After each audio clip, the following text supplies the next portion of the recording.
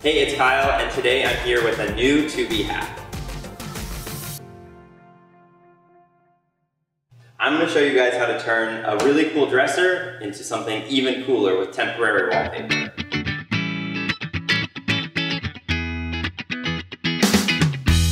So today I'm gonna use this really cool retro yet modern temporary wallpaper from Tempaper to really spice up this dresser. So step one is to just unscrew all of the drawer handles. Make sure that the drawers are clean of any debris so the Tempaper adheres well. So I cut um, a square of the roll, just bigger than the actual drawer front, just to give me some wiggle room to actually lay it down. Um, because the actual chest is wider than the paper, we're gonna have to match it up. So it's pretty simple, you're just gonna peel off the backing, it's kind of like one big sticker, and then we're just gonna line it up on the drawer.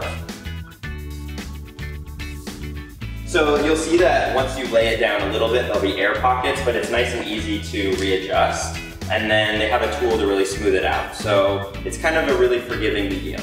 Okay, so now that I've laid out the first piece, um, you're just gonna razor blade the edges, just if there's any excess, um, to get that first clean cut.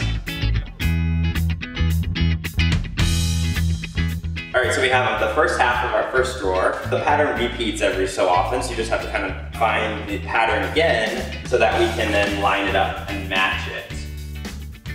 All right, so drawer number one is done, so I'm just gonna do the exact same thing to the next four uh, to finish it off.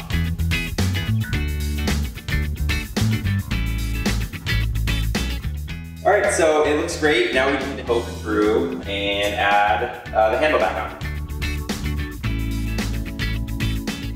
So there you have it. I think it looks awesome. Uh, I wanted to show you guys one thing before, which is that it's really easy to actually peel off. It's just basically a sticker. It doesn't ruin anything. This is perfect for a renter or if you just want to change it later on. And I think it looks awesome.